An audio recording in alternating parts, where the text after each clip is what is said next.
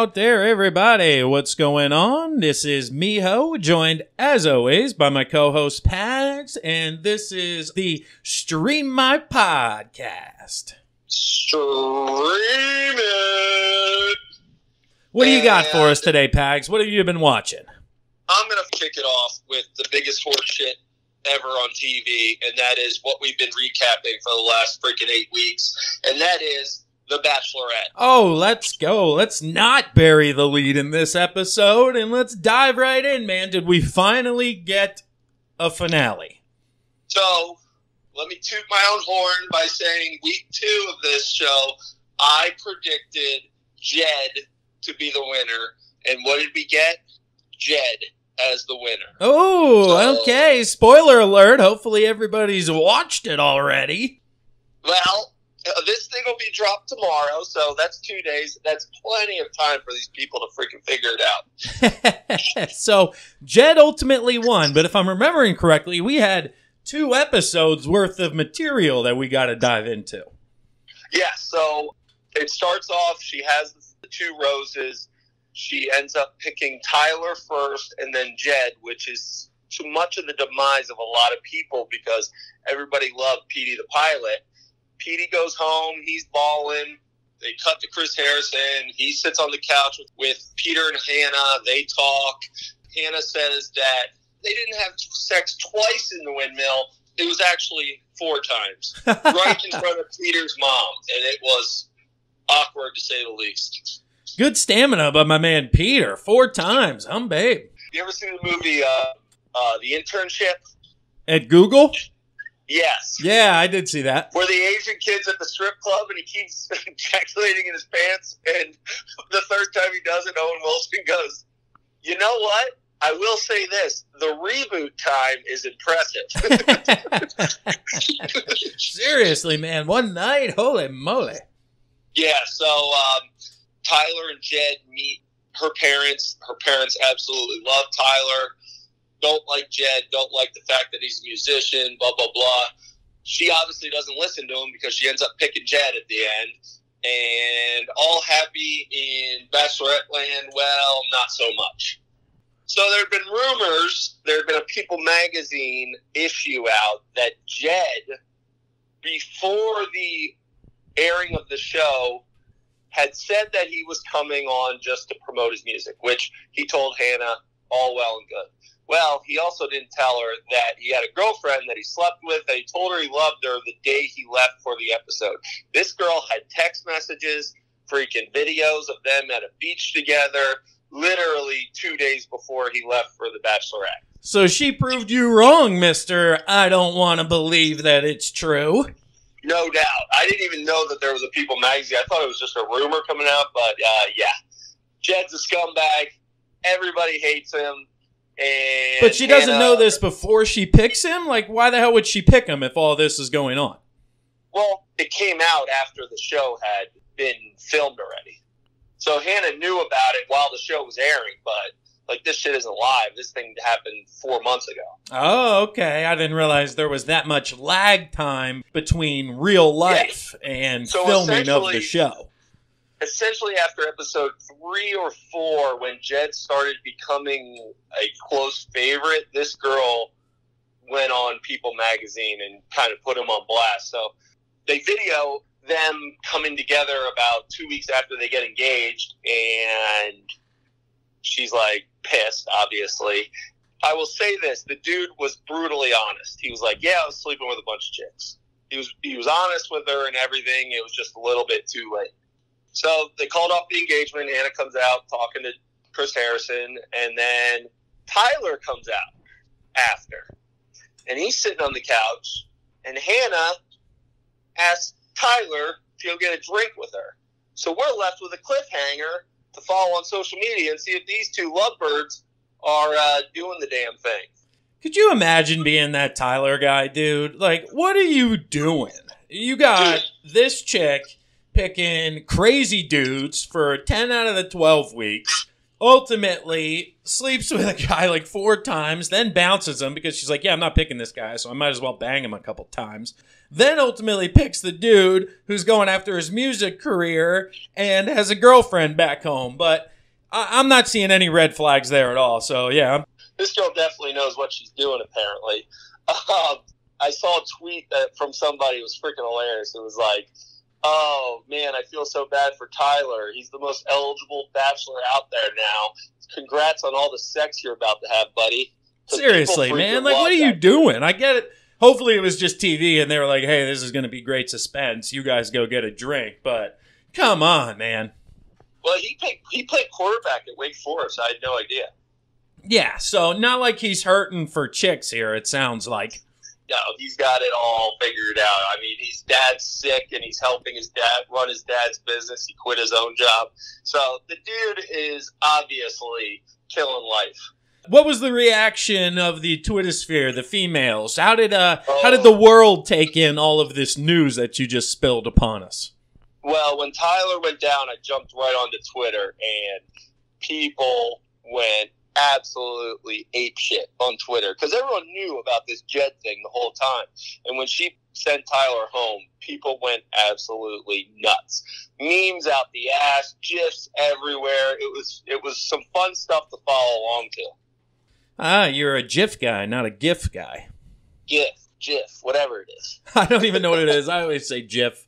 Yeah, so that uh, that puts a cherry on top for Bachelorette talk for now. But next Monday we got Bachelor in Paradise, and it looks like we have our first chick that's bisexual going to be sleeping with dudes and chicks. So looking forward to that for sure. Soon it's just going to be one big orgy house. oh, dude, it's Bachelor in Paradise is golden. we're going to have that and quick teaser as well since we're uh, previewing content. I believe since camp opened up last week in the NFL, shouldn't Hard Knocks be coming again soon? Oh, dude, no doubt. Starting next week, next uh, Tuesday, August 6th. So Okay. We'll preview it right now because we probably won't have one until it airs next week. Yeah, see, that's how I thought The Bachelorette would work. That they're filming stuff, you know, maybe a couple weeks beforehand and then pounding it out. I didn't realize it was that far in advance with what's going Oh on. yeah, no, it all it all happened before they even air the show. That's wild, dude. But certainly looking forward to uh, both of those conversations next week. Couldn't be more polar opposite on the spectrum. Very much looking forward to seeing Antonio Brown coming into practice on a hot air balloon and not practicing for the first day. There are so many characters on this team, man. I don't even know what to expect. I mean, Gruden's going to be his character on his own, so it's going to be fun to watch. Definitely, dude. And I wonder which lower end roster guys that they're going to choose to follow around. And there's always that guy of, will he or won't he make the team? Please root for him. And then he's cut. the Kevin Kajus of last year, the Crystals guy. Is that what it is? I don't even remember. Oh yeah, he was the third string tight end. His dad and him had like a whistle that they could pick out of a crowd when they're in a big crowd. So he's on the field. You could hear his dad in the stands doing the whistle. It was wild. Oh, my goodness, man. There's always something where you're just like, what the hell are they talking about? HBO really does a great job in capturing the drama of a football team and the st- different storylines. You know, they do their homework and figure out some people that have a little more crazy backgrounds. And you don't have to look very far because you got your stars of your team of Antonio Brown, Vontaze Burfict, Derek Carr, Jon Gruden. It's getting, uh, and then Mike Mayock of all people.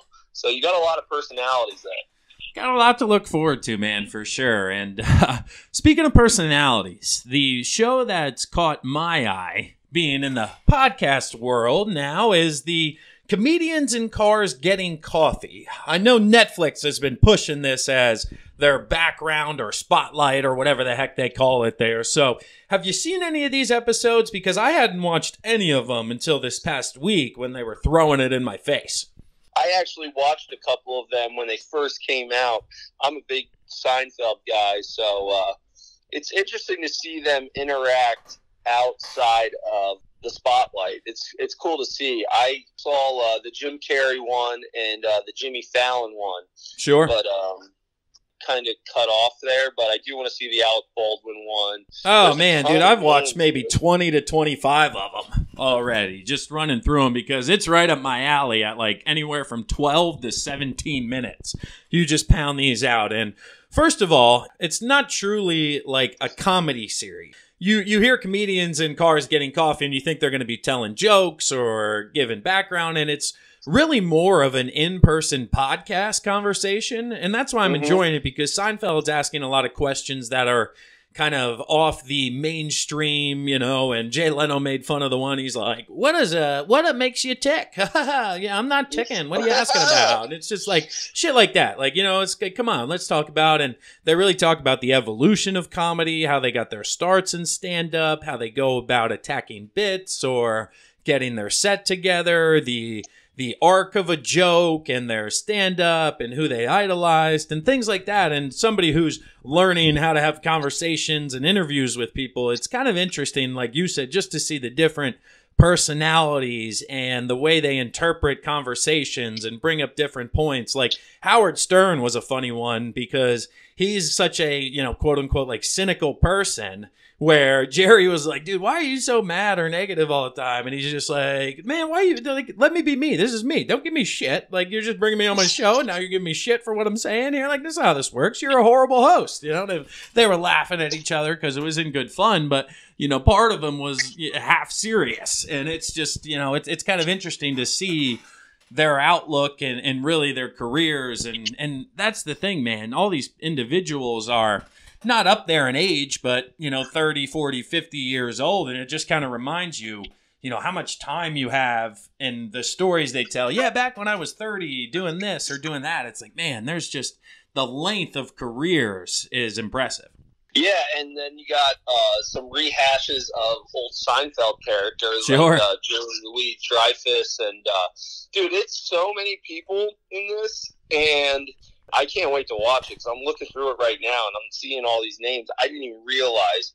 The, I think I jumped off way too early. Yeah, dude, it's sweet. Plus all the cars. All the Mm-hmm. 1930s, 50s, 40s, Rolls Royce, Mercedes Benz, Fiats, Porsches, some of these cars. I'm not a car person, and I'm just like, look at this thing, man. That was a Mm-hmm. speed car, it's tiny, or it's huge. It's just, it's all over the spectrum. He tries to pick the car that best resembles the comedian that he has Yeah. joining him. And it, it's just kind of funny to watch him pair a car with a person.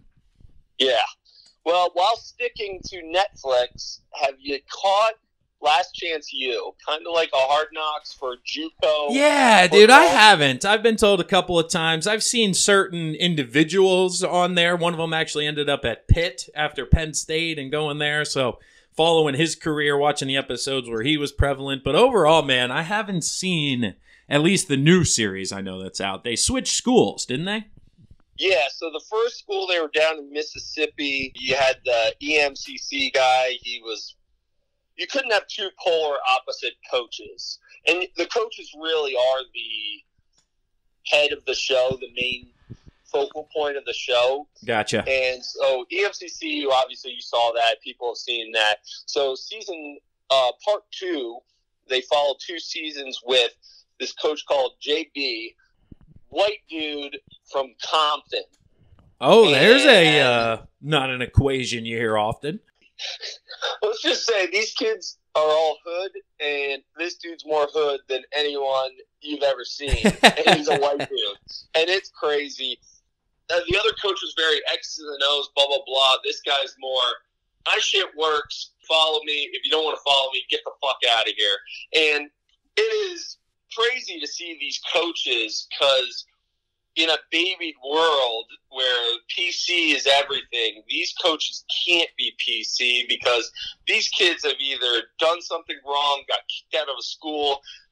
So they almost have to be the hard ass have these players play well in spite of them because they're pissed off at their coach. Otherwise, these kids are just going to do their thing and then not make it to the next level. And that, these coaches do have these kids' best intentions in mind. It's just they go about it in a way different way than what Oh yeah, I saw that college does. documentary on this. I believe it was called The Gridiron Gang, starring Dwayne the Rock Johnson. Yeah, there you go.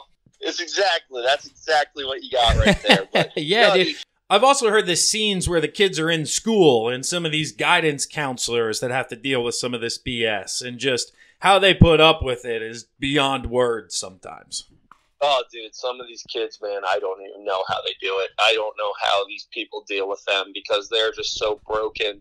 And I give them mad props for dealing with it, but I don't know if I would have the patience to deal with some of these kids. It would drive me Yeah, nuts. no And way. Some of these kids have terrible backgrounds. It's just, it's unfortunate because, I mean, in the latest season I was watching, starting quarterback, Florida State, gets kicked out of Florida State, and he is just a head case. And it, uh, it would drive me nuts. tough, tough gig, man, for sure.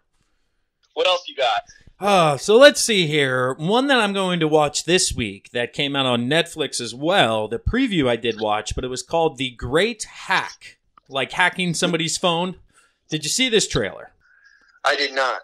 So it's basically a documentary about the Cambridge Analytica scandal, which in layman's Okay. terms was pretty much the Facebook data usage, data mining scandal that's recently been brought to light. And in the trailer alone, what caught me is the tagline or the punchline of the fact that our data, the data that all these websites take in, the Cambridge Analytica basically said that they have over 5,000 data points on every single person and that they can sell this data to companies which can then use it to target marketing a certain way to essentially get you to buy things based on the way you act and how you socialize on these networks. And the one thing that went over the top was the fact that apparently data is now the most expensive currency on earth. It literally passed oil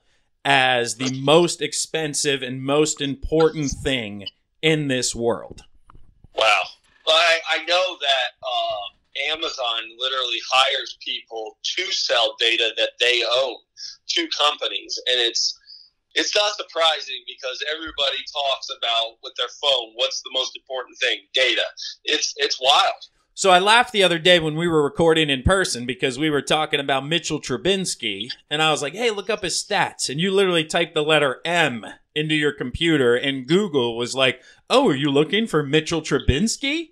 And Yeah. literally, that's what it's doing. It's saying, "This is how Pags does. This is when he goes on Facebook. This is what he's looking at. This is how long he spends on each page. This is what he's doing on the internet. This is what he's doing on Instagram. Here you go, company." target your ads at this specific time for this this many times and eventually he will buy this product even yesterday i was talking to either you or a buddy on the phone and i was like yo when the hell is a app going to be available in pa for sports betting?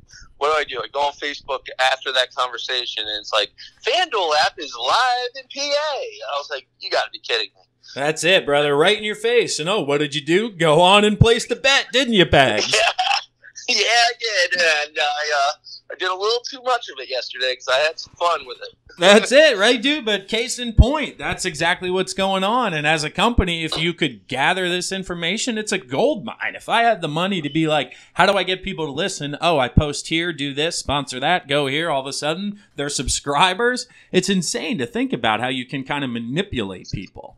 For sure, and uh, world is changing right before our eyes, and it's pretty crazy to watch. It's wild, dude. It's wild. So, do you have anything else? I got one more that I want to drop before we head out. Yeah, I have one coming out August seventeenth, HBO. Oh, a Uh, little two week preview teaser. Fans of Eastbound and Down. I'm a fan for sure. Another uh, HBO series coming out with Danny McBride called The Righteous Gemstones, starring John Goodman, Danny McBride, and Adam DeVine. Oh, and Oh, there you go. That's a good crew.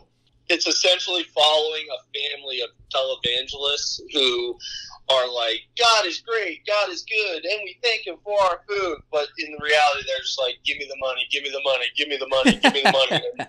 It looks hilarious. I can't wait to watch it. It's a half hour on HBO, so it's going to be easy to stream, and it looks great. Yeah, those two or three interacting with each other, I can certainly anticipate some laughs in regards to those scenes. Even if it's not even a good story, those guys are going to make you laugh. ninety percent of the time. That's for sure. And my last one here, apparently it's going to make you laugh, make you puke, make you queasy, uncomfortable, but it was recently released, I think just a handful of days ago, on Amazon Prime. And that one is the new uh, superhero vigilante tale of The Boys. Have you seen that? I cannot wait to watch it, but I hear you really need to uh, prepare yourself. My buddy described it as you need to soak yourself in bleach in a bathtub after watching it. Yeah, the one guy was reading an article said it's based on the graphic graphic comic book strip and just Yeah. watching the trailer. Basically what happens is it's a group of they say vigilantes. So a group of people who are trying to put superheroes in their place because of the collateral damage that tends to happen and these superheroes just have no laws or rules and do whatever they want. And it starts with literally a guy holding his girlfriend's hands in the street right on the curb and he's like oh i love you so much. And then all of a sudden she literally explodes just into a huge ball of guts and whatever and he's left holding her hands and a superhero stops and was basically running faster than the speed of light and went right through this chick and was like i can't stop. I can't stop. I have to keep going. And then you end up following this guy who wants revenge on these superheroes because they're killing people and affecting their lives and nothing's happening from it. But like you said dude apparently it's just full of gruesome beheadings explosions killings and it's uh, a wild wild scene for amazon to throw out there I'm in for it. Uh, probably won't watch it with the wife and kids, but I'll definitely be catching it. Yeah, definitely an after hours show when you're chilling by yourself, man. I'm going to give it a shot, and I'm not big on the gore, blood, and all that shit, so we'll see how far I can make it here, but uh, it's definitely caught my interest.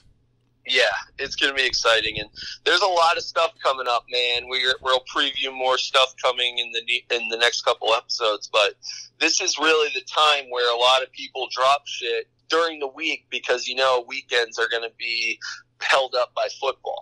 Exactly, man. And if you guys are watching something out there we didn't talk about today, let us know about it. Call the hotline. It's in our bio, it's in the description of this episode, as well as comment on our post on social media. Let us know what to check out. If you've watched the things we were discussing, let us know your favorite comedian or car that was used, and give us your takes on The Bachelorette because that was an insane finale. Yes, it was, and uh, we will have much more to come in the near future. We'll talk to you guys later. Peace.